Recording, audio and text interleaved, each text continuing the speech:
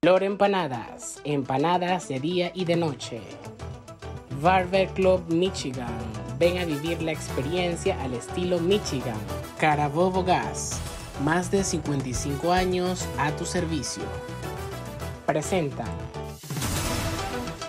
brusca caída de ingresos externos. Que lo apoya en el mantenimiento. La Organización Mundial del Comercio determinó esta con aguas totalmente limpias y hasta Cángele con el centro atrás, ahí está. Bienvenidos a una nueva emisión de Noticias Ecovisión. Un saludo a todos los televidentes que sintonizan en estos momentos Ecovisión. Gracias por siempre acompañarnos. Como cada emisión los acompaña Bárbara Castro Linares y mi compañero Carlos Venta. ¿Cómo estás, Carlos? Muy bien, ¿cómo estás tú en esta emisión de Noticias de Ecovisión? Excelente para dar todas esas noticias más destacadas de los últimos días. Claro que sí, vamos a conocer noticias regionales también, noticias de Venezuela y más allá de nuestras fronteras. Pero antes de comenzar, queremos invitarlos a que usted nos siga en las redes sociales, arroba noticias ecovisión, arroba ecovisión TV también a que nos siga en nuestras cuentas personales arroba Bárbara Castro Linares y mi cuenta arroba carlosventa guion bajo. Ahora sí vamos a comenzar con las noticias de esta emisión. E iniciamos con las noticias regionales. Una de ellas es que la Universidad de Carabobo, Inca Valencia y la Alcaldía de Valencia realizaron el tercer encuentro para leernos, un evento de la educación y la cultura. Desde el jueves hasta el sábado 10 de junio en la sede de INCA, en el sur de la ciudad, la población estudiantil junto a la familia y el público en general disfrutaron de actividades académicas y culturales en el encuentro que surge como antesala a la Feria Internacional del Libro en su edición número 20, FILUC 2023. El tercer encuentro para leernos es una actividad en alianza entre la Alcaldía de Valencia, la Universidad de Carabobo y el Instituto Educativo IMCA. El acto de inauguración estuvo presidido por el alcalde de Valencia, Julio Fuenmayor, la rectora de la UCE, Jessy Divo de Romero, Elías Polo, director ejecutivo de IMCA Valencia, y Rosa María Tobar, presidenta del comité organizador de la FILUC. Entre los invitados estuvieron el padre Antonio Arocha, párroco de la Candelaria, Marlon Díaz, presidente de la Federación de Centros Universitarios, además de expositores, patrocinantes, colaboradores y estudiantes. El profesor Elías Polo, director ejecutivo de INCA, agradeció la presencia de los líderes INCA, que son los estudiantes de esta unidad educativa.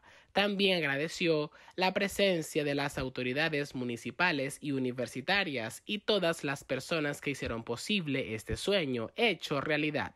La rectora de la UC, Jessie Divo de Romero, destacó la participación de 32 casas editoriales producto del esfuerzo logrado a través de alianzas institucionales como las que estableció la UC con la Alcaldía de Valencia y el INCA, realizaron la Expoferia Oportunidades de Estudio Carabobo 2023 en la sede del Complejo Deportivo Simón Bolívar de Naguanagua. La actividad fue encabezada por el gobernador del estado Carabobo, Rafael Acaba, y la ministra del Poder Popular para la Salud, Magali Gutiérrez Viña, acompañados por la viceministra de Gestión Universitaria, Hiroshima Vázquez, la alcaldesa de Naguanagua, Ana González, así como las autoridades rectorales de 14 universidades, públicas y privadas, además de 1.700 estudiantes de los diferentes liceos y unidades educativas de la entidad. Durante su discurso, el gobernador Lacaba destacó la importancia de esta expoferia que demuestra el compromiso del gobierno nacional de generar oportunidades de estudios a los jóvenes del país como muestra de la democratización del sistema de educación superior. Un trabajo maravilloso que se está haciendo desde el Ministerio de Educación Superior, con la, como teniendo como padrino a las gobernaciones, al Ministerio de Salud y sobre todo con la orientación del presidente de la República, que ha generado, al igual que lo generó el comandante Chávez, iniciando todo este proceso para darle la oportunidad a todos los, los jóvenes, bachilleres, para entrar al sistema de educación superior.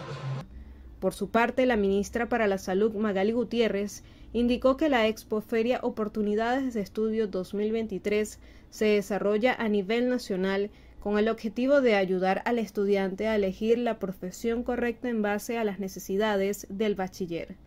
También acompañaron a las máximas autoridades en este evento Jesús París Lara, secretario general de Gobierno, la Autoridad Única para la Salud, la doctora Jonah Acero, la Autoridad Única de Educación, Xiomara Luna, el presidente de Fundadeporte, Johnny del Corral, y el diputado Efraín Marín, integrante de la Comisión de Ciencia y Tecnología del Bomberos de Libertador dictaron taller de primeros auxilios a estudiantes de la unidad educativa Barrerita. El cuerpo de bomberos del municipio Libertador dictaron un taller de primeros auxilios básicos y tópicos bomberiles a los alumnos de la unidad educativa Barrerita. Los presentes conocieron sobre los protocolos de seguridad ante eventos adversos de la naturaleza, entre ellos terremotos, movimientos telúricos, lluvias e inundaciones. Los alumnos estuvieron acompañados por la directora del plantel Gladys Hernández, Irenaida García, Irma Rosa Santander, Moraima Azuaje y Winder Cruz, todo bajo las coordinaciones del teniente Manfred Santamira y el comandante del Cuerpo de Bomberos Mayor, Jean Ibarra.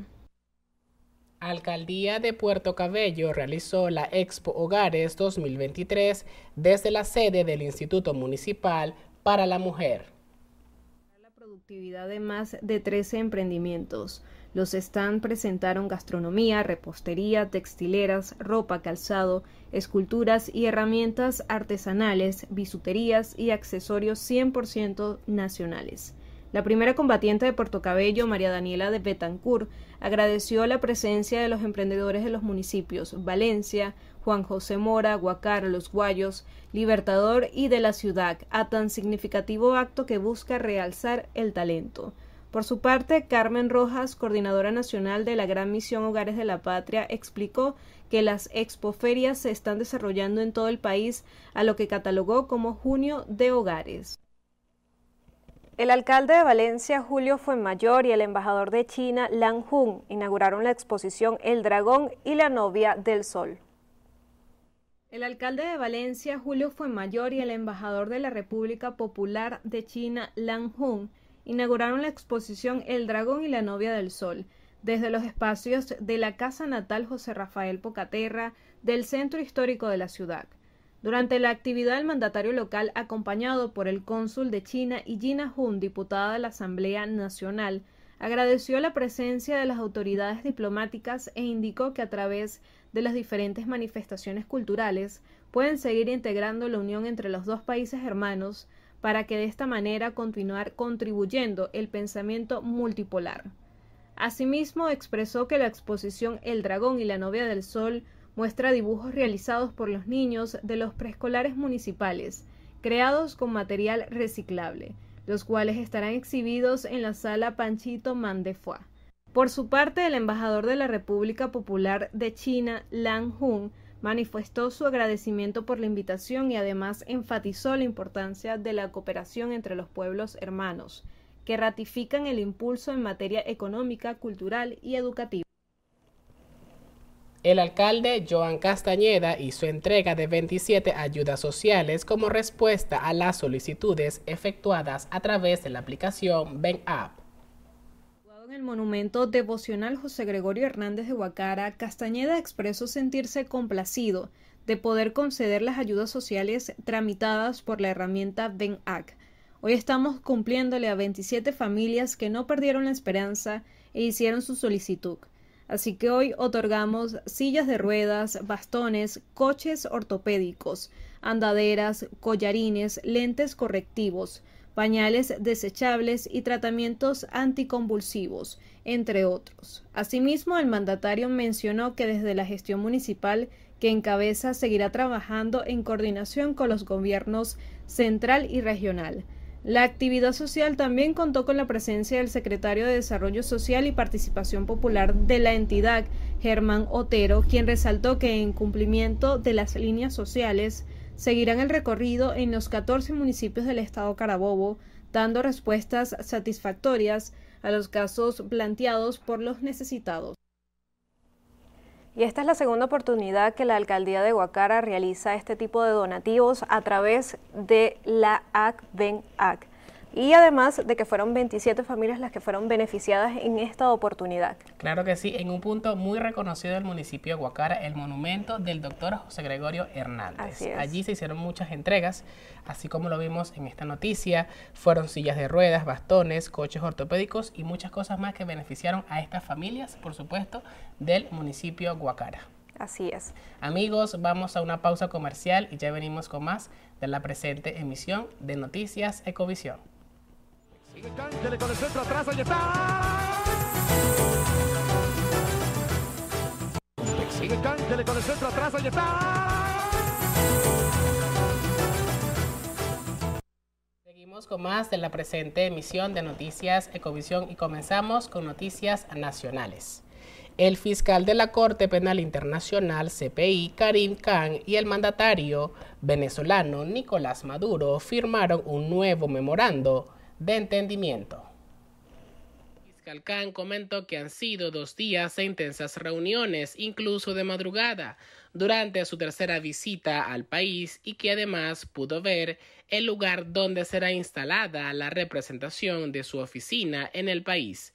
A pesar de los desacuerdos sobre la investigación, el fiscal Khan le da crédito a Venezuela que todavía se mantenga un acuerdo en este sentido. Dijo esperar que la cooperación con el gobierno venezolano se mantenga en el tiempo. Además, dijo que trabajará con los actores sociales y miembros de la sociedad civil sobre temas de derechos humanos, especialmente por el delito de persecución. Por su parte, el mandatario Nicolás Maduro comentó que la instalación de una oficina de la Fiscalía de la CPI en el país es un paso favorable y expresó que ya se tiene una experiencia auspiciosa como los acuerdos logrados con la Oficina de Alto Comisionado de Naciones Unidas para los Derechos Humanos y la instalación de una oficina en 2019.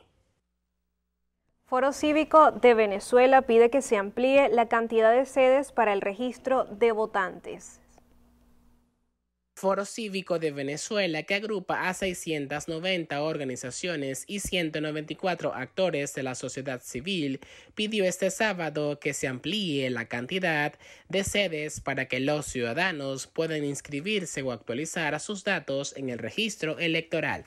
Se debe garantizar la inscripción en el registro electoral de todos los ciudadanos y las ciudadanas. Votar es un derecho. Es preciso que se amplíen los puntos para la inscripción y actualización de los electores, indicó la organización en una publicación en su cuenta de Twitter. Además, aseguraron que millones de jóvenes en el exterior corren el riesgo de no poder participar en las elecciones del 2024, una fecha en la que está previsto que se celebren elecciones presidenciales. Los gobiernos de Venezuela y Argelia firmaron este jueves una docena de acuerdos de cooperación en distintas áreas, entre ellas transporte aéreo y energía. Con respecto al acuerdo de servicios aéreos, Castro Soteldo explicó que ambos países asignarán las aerolíneas que cubrirán la ruta entre Caracas y Argel, tras lo que las autoridades aeronáuticas deberán certificar a estas compañías un proceso que puede tardar de dos a tres semanas. Las delegaciones también suscribieron un acuerdo en materia energética que permitirá complementar la enorme fortaleza de Argelia en el sector gasífero, en el sector de la electricidad, así como la experiencia en producción de hidrocarburos y de otros insumos que ambos países pueden intercambiar o incrementar. Argel y Caracas mantienen relaciones diplomáticas desde 1971 y según la Cancillería venezolana han suscrito más de una veintena de instrumentos jurídicos bilaterales entre acuerdos, memorándum de entendimiento y programas de cooperación en las áreas política, cultural, energética, comercial, científica, comunicacional, jurídica, transporte educativa, electoral, entre otras. E iniciamos con las noticias internacionales. El gobierno de Colombia y el Ejército de Liberación Nacional concretaron un nuevo acuerdo que comenzará a regir el 3 de agosto. Recibo cierre tuvo el tercer ciclo de negociaciones entre el gobierno colombiano y la guerrilla Ejército de Liberación Nacional, ELN, en Cuba.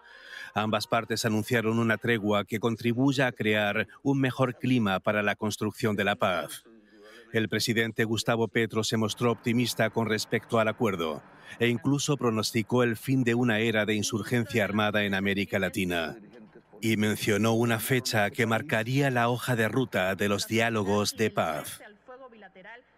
Que este firma de estos acuerdos parciales hoy, que los llevan a ustedes a un cese al fuego, a un punto que nunca habían experimentado en los diálogos a un cese al fuego que sigue con una promesa. El 25 de mayo, en mayo del 2025, cesa definitivamente la guerra de décadas entre el ELN y el Estado de Colombia. Para el máximo líder del ELN, Antonio García, el mensaje del acuerdo va dirigido a la sociedad colombiana para que participe en la solución del conflicto. Este proceso de paz tiene que ser distinto. Queremos ver realmente los cambios. La voz del ELN será la voz de la sociedad. No serán acuerdos entre el gobierno y el ELN. No. Serán acuerdos que la misma sociedad construirá con la participación de todos. Sin embargo, el jefe negociador del ELN, Pablo Beltrán, desde La Habana, advirtió que ciertas acciones contra la población civil podrían continuar. El líder guerrillero aseguró que en el cese al fuego no están incluidas por el momento las actividades de financiamiento de la guerrilla como el secuestro. Se trata de un cese al fuego temporal pero en cualquier caso es una buena noticia que aliviará de momento la vida de las poblaciones más afectadas por el conflicto colombiano. El gobierno ucraniano afirma que la destrucción de la presa de Kajovka afectará tanto a la producción agrícola como a las exportaciones. La mano del hombre la magnitud de la destrucción de la represa ucraniana de Kayovka conllevará grandes consecuencias. Desde la invasión rusa de Ucrania en febrero del año pasado, Rusia ha lanzado una serie de ataques contra infraestructuras energéticas ucranianas. Según primeras estimaciones, en la orilla del río Dnieper, que está bajo el control de Ucrania, las inundaciones afectarían a una vasta extensión de terrenos agrícolas. Según el Ministerio de Agricultura de Ucrania, el incidente podría provocar interrupciones en el suministro de agua de un sistema de riego vital para los campos de Gerson y otras regiones cercanas. Este sistema de riego abastecía de agua a más de medio millón de hectáreas, que en 2021 produjeron 4 millones de toneladas de grano y semillas oleaginosas. Aún se desconoce el alcance exacto de los daños Cientos de miles de ucranianos, de por sí afectados por la guerra, podrían quedarse sin hogar y sin acceso al agua, electricidad y otros servicios básicos en la región de Gerson.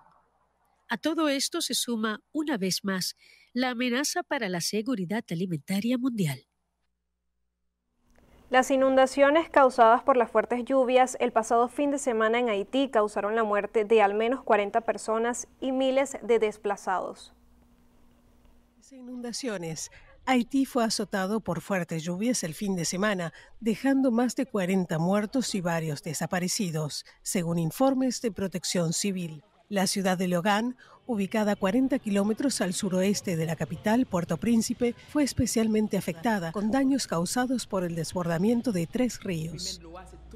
Toda la ciudad de Logan quedó inundada. Es la primera vez que experimentamos algo así aunque antes había habido inundaciones, pero esta es la más fuerte que hemos vivido. En toda la ciudad de Leogán hay varios muertos y muchos desaparecidos. Según el primer informe de socorro, al menos 20 personas perdieron la vida allí.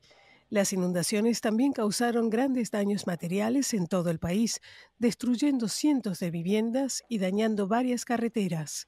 Los habitantes vivieron momentos de terror. Perdí a un niño de cinco años. Estuve a punto de perder a dos, pero Dios dejó al otro a salvo en un árbol. Yo salvé a uno más, pero de todos modos perdí a uno. Mi casa fue arrastrada por las inundaciones, lo perdí todo. No tengo a nadie en quien apoyarme. El primer ministro Ariel Henry ha activado el Centro Nacional de Operaciones de Emergencia en un país muy vulnerable a los desastres naturales y sin recursos para reducir los riesgos. Y la temporada de huracanes apenas ha comenzado. Sumamente lamentable lo que sucede en estos momentos en Haití. No es la primera vez que sufren este tipo de consecuencias por las lluvias. De hecho, diferentes organizaciones gubernamentales y ONG están buscando ayudar al país a todas esas personas afectadas. Además de esta información, también tenemos otra que ha sido muy tendencia en las redes sociales este lunes específicamente porque se rumoró por allí de que estaba la presencia de un extraterrestre en Estados Unidos. Hay unas imágenes que se han difundido, pero vamos a verla para que usted pueda conocer qué es lo que es tendencia en este momento en Venezuela y también en el mundo. Okay, where is this on your property? Uh, uh, in my backyard. I swear to God, this is not a joke. This is actually we so there's two, terrified of it. So there's two people or two subjects that are in your backyard. Correct, and they're very large. They're like eight foot, nine feet, ten foot. I don't know. They're, they're like. Bueno, sumamente interesante este video que logramos ver que colocó la producción de noticias Ecovisión. Un poco alarmante, no estamos acostumbrados a ver este tipo de imágenes, pero se ha hecho sumamente viral en las redes sociales. Sin embargo, ninguna entidad gubernamental ha hecho un comunicado oficial sobre estas imágenes que pudimos ver. Amigos, vamos a una pausa comercial y ya venimos con más de la presente emisión de Noticias Ecovisión.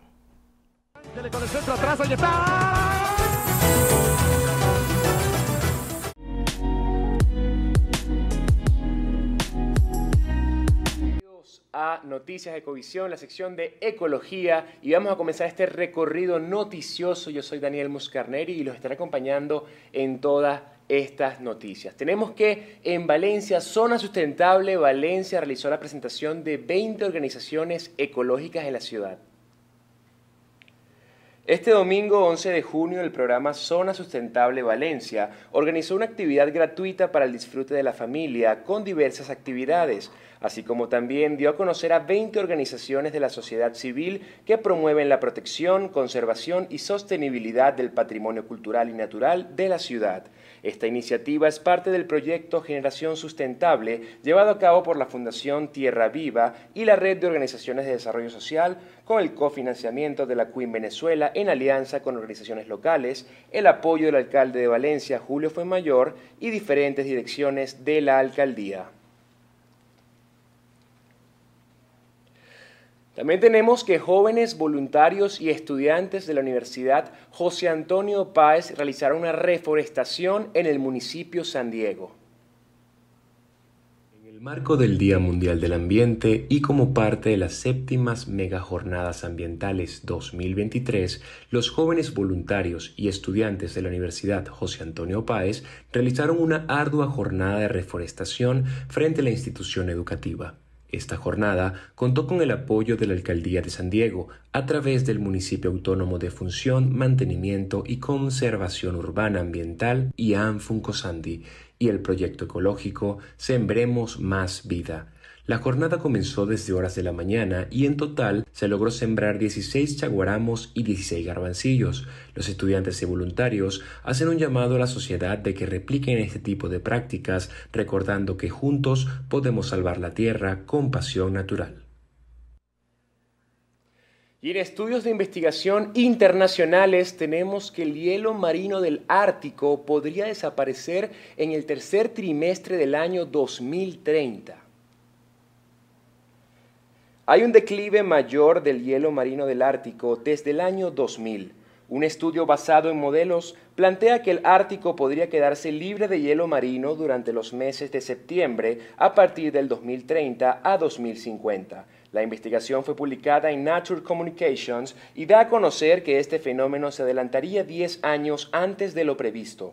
El proceso investigativo estuvo encabezado por la Universidad de Ciencia y Tecnología de Pojan en Corea del Sur y señala que pese a tener un escenario de bajas emisiones de gases de efecto invernadero, no impediría la situación.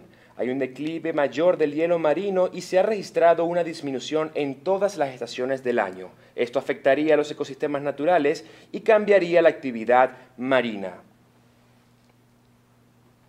Y también en materia internacional tenemos que la NASA realiza estudios sobre la Tierra que plantea posibles soluciones en el ambiente a futuro. La NASA ha estado trabajando arduamente en la investigación de la Tierra en los últimos años. Sus estudios han arrojado resultados sorprendentes que podrían tener implicaciones significativas para el futuro del planeta. Utilizando satélites y otros instrumentos para monitorear la salud del planeta en tiempo real, se han descubierto patrones en la temperatura, el clima y la actividad humana que podrían ayudar a prevenir desastres naturales y a mitigar el cambio climático.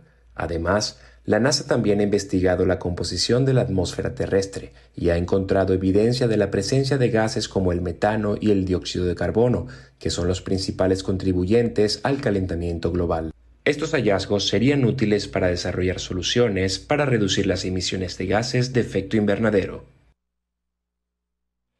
Amigos y amigas, y de esta manera finalizamos la sección de Ecología de Noticias Ecovisión. Yo soy Daniel Muscarneri y me pueden seguir en mis redes sociales como arroba Daniel Muscarneri y será hasta una próxima edición.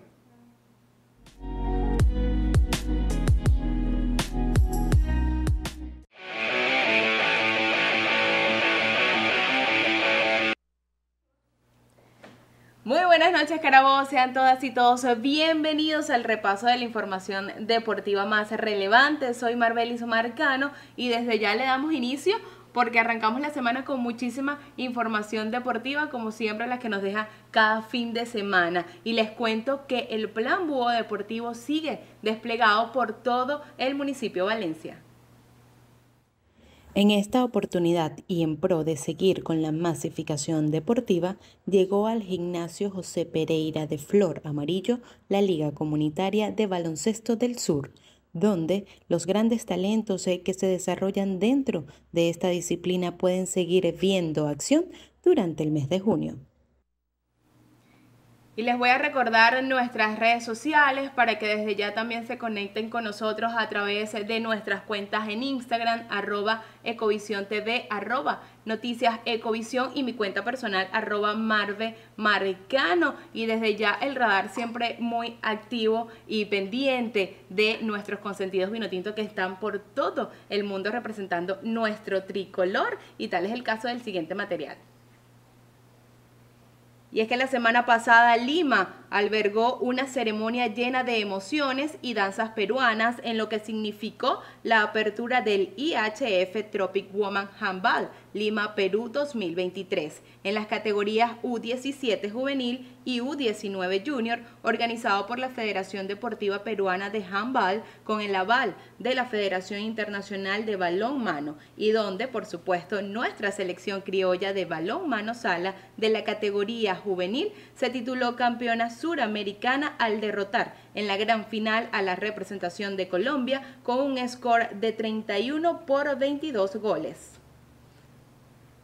Más orgullosas no podemos estar de nuestras chicas que siempre y de todos los atletas que están regados por cualquier parte del mundo representando nuestro tricolor. Y yo en el siguiente material quiero que ustedes conozcan el verdadero significado de la flor de la juventud ya pasada los 60 años, porque hoy es lunes y quizás muchos esperan el lunes para retomar alguna actividad física, pero quiero que vean esto el Instituto Municipal del Deporte y Juventud de San Joaquín, más de 100 abuelitas disfrutaron del encuentro con el bienestar y recreación del adulto mayor en las instalaciones de la cancha del sector El Remate, actividad que se llevó a cabo con el propósito de garantizar un día de diversión para los pioneros del municipio y que contó con la participación de los clubes de abuelos que se encuentran en diversos sectores del municipio de San Joaquín.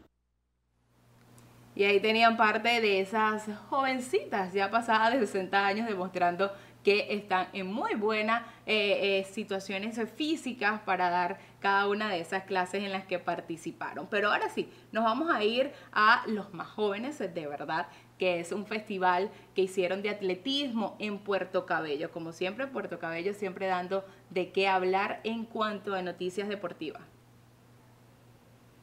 Y en esta oportunidad los espacios del Polideportivo San Esteban, ubicado en la parroquia Bartolomé Salón, fueron utilizados el pasado viernes para la realización de un festival deportivo de atletismo escolar actividad deportiva apoyada por la Alcaldía Socialista de Puerto Cabello que lidera Juan Carlos Betancourt a través del Instituto Municipal del Deporte. Más de 50 estudiantes entre niñas y niños, cursantes de la educación primaria de los colegios Unidad Educativa Mis Vecinos, Valle Verde y la Escuela Carmen de Santa Ella de Rancho Grande, también estuvieron en la participación y pusieron a prueba su velocidad en la pista de carrera evento aprovechado además para captar talentos en diferentes disciplinas.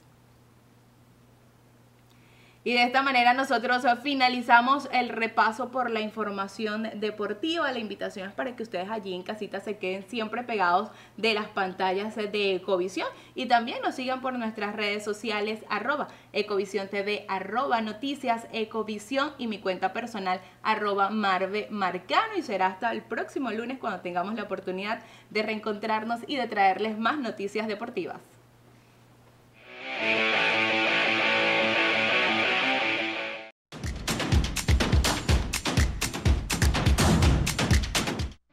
Y continuamos con más noticias Ecovisión en esta oportunidad en materia tecnológica. Tenemos bastante información nacional y regional. Comenzamos con que la Maratón Runner Geeks está todo preparado para iniciar el próximo 8 de julio en las instalaciones del Sanvil Valencia. El Maratón Runner Geeks se encuentra afinando detalles para una nueva edición que se estará llevando a cabo en las instalaciones del Sanvil Valencia el próximo 8 de julio.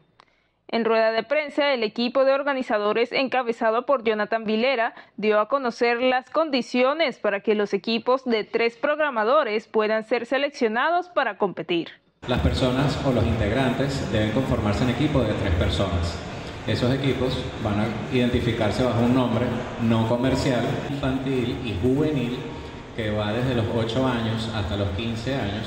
Van a desarrollar sus habilidades en Scratch, es un software de programación para niños, ¿okay? que se basa eh, en un ambiente más animado. Geeks, pues bueno, ellos sí la tienen un poco más compleja porque van a estar desarrollando eh, o, dando resolución a estos problemas en lenguaje de Python, C, C++, correcto, y Java o Java.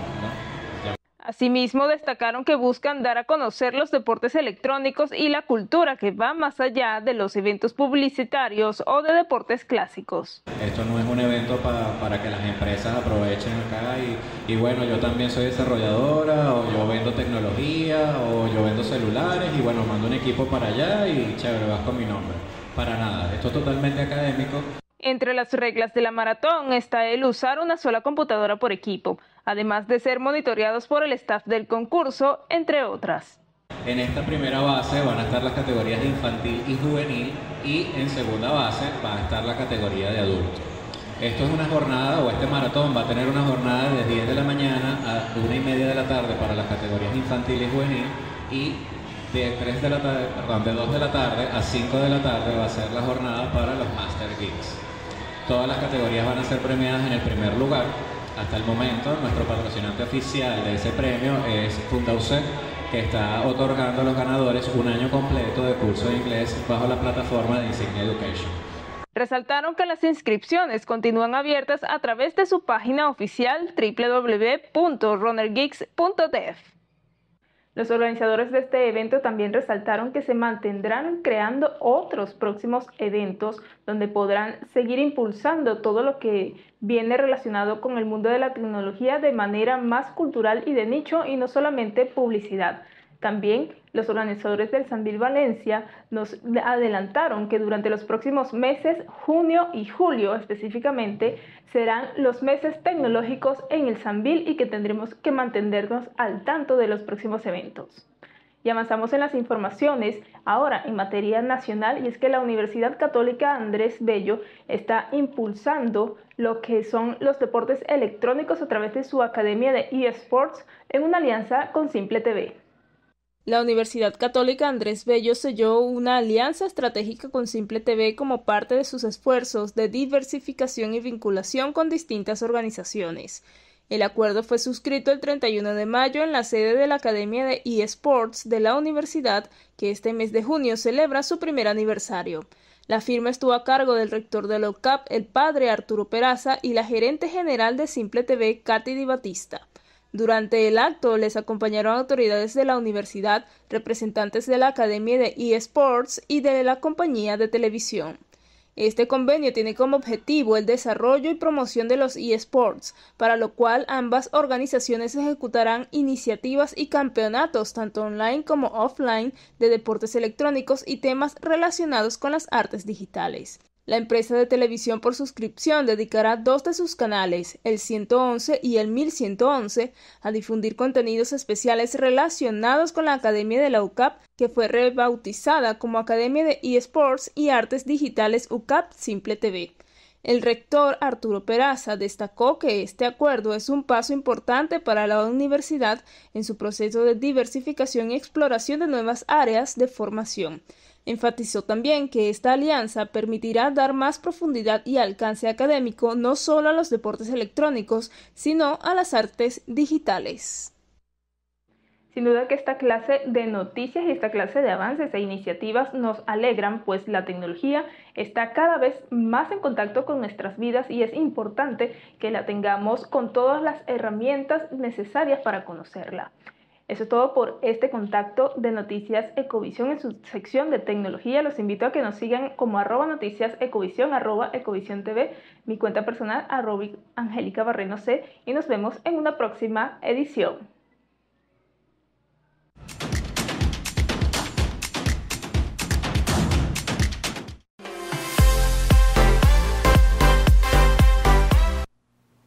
Feliz día a todos nuestros televidentes, sean bienvenidos a su sección de arte y espectáculo. Yo soy Mari Carmen González y hoy vamos a tener muchas noticias acerca de lo que está pasando en Hollywood.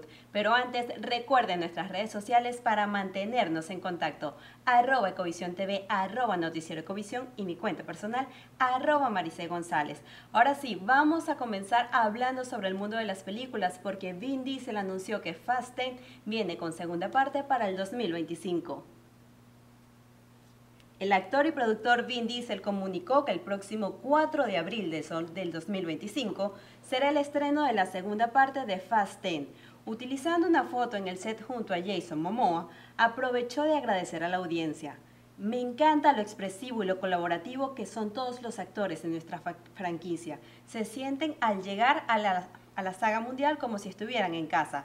Ya Jason quería probar algo totalmente único y especial y terminó creando una escena robando a mi personaje, un personaje muy famoso que jamás van a poder olvidar.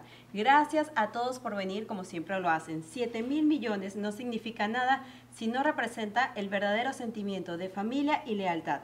Con estas palabras, Diesel asegura que vienen muchas nuevas entregas, a pesar de que se esperaba que la décima fuese la última.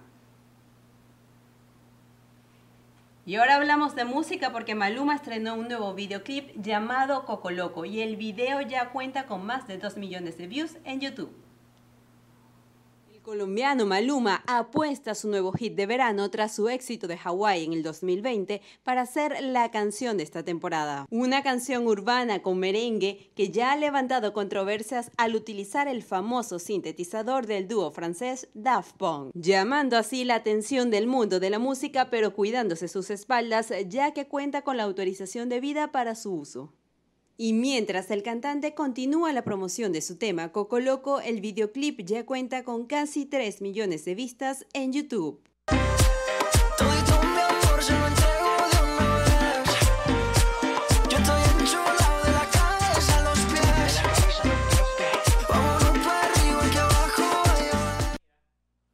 Ya que estamos hablando de música, vámonos un poquito más cerca de casa porque Lazo está de gira por Venezuela con su tour Lazos verso Quedarse Solo. En esta ocasión, el intérprete de Ojos Marrones vuelve a su país natal con una gira por 13 ciudades, ciudades de Venezuela, que inició el pasado 2 de junio en Barquisimeto. Lazo organizó una producción con 26 canciones, seleccionadas por su público a través de una encuesta en sus redes sociales. Se estará presentando en Valencia el 17 de junio para continuar a Punto Fijo, Maracay, San Cristóbal y cerrar su recorrido por el país en la ciudad de Caracas el 1 de julio y así emprender rumbo a Latinoamérica y Europa, donde finalizará su gira en la ciudad de Berlín el 11 de noviembre. Y hablando de talentos venezolanos, el actor maracucho Rodolfo Salas está brillando con la serie más vista en Netflix, Perfil Falso, una serie que trae bastante drama y una incógnita mm, que van a tener que ver el tráiler a continuación para decirme a través de las redes sociales si desean verlo y qué les parece. Les recuerdo nuestras redes sociales para interactuar, arroba TV, arroba Noticiero Ecovisión y mi cuenta personal, arroba González. Yo me despido de esta emisión con el tráiler de Perfil, de perfil Falso. Imagina conocer el amor de tu vida en una app. Fernando. ¿Camila? Imagina una química que nunca hubo con nadie. Y ahora imagina. Disculpa, estoy buscando al doctor Fernando Castel. Este hombre. Es él. No existe. ¿En qué le puedo servir? Yo soy Fernando Castel. Soy, Fer soy, Fer soy, Fer soy Fernando Castel. Fernando. En esta vida yo tengo un sueño. Encontrar a mi media naranja, casarme con ella y formar una familia. Necesito que me ayudes con algo y me sigas la corriente. Riviera Esmeralda. Vivir aquí es un privilegio. Que si entran, no salen nunca más. Buenas noches, Fernando. O debería... Muchísimas gracias, Marius, por toda la información en artes y espectáculos y también por dejarnos con ese tráiler de perfil falso. De verdad que se ve muy interesante esta serie de Netflix, además de que tiene un venezolano trabajando en esta producción. Muchas personas han comentado de que esta producción es buenísima, sin embargo yo no la he visto. ¿Tú la yo vas a ver? tampoco, pero la voy a agregar a la lista de Netflix para verlo en los próximos días. Amigos, y llegamos al final de la presente emisión de Noticias Ecovisión. Les quiero recordarles las redes sociales arroba noticias ecovisión, arroba ecovisión TV, también nuestras cuentas personales arroba Bárbara Castro Linares y arroba Carlos Venta guion bajo. Nos vemos en una próxima emisión de Noticias Ecovisión. Feliz inicio de semana. Hasta la próxima. Empanadas de día y de noche. Barber Club Michigan. Ven a vivir la experiencia al estilo Michigan. Carabobo Gas. Más de 55 años a tu servicio. Presentaron. La más brusca caída de ingresos externos que lo de apoya en el mantenimiento. La Organización Mundial del Comercio determinó con aguas totalmente limpias y hasta complejas. Sigue el centro atrás, ahí está.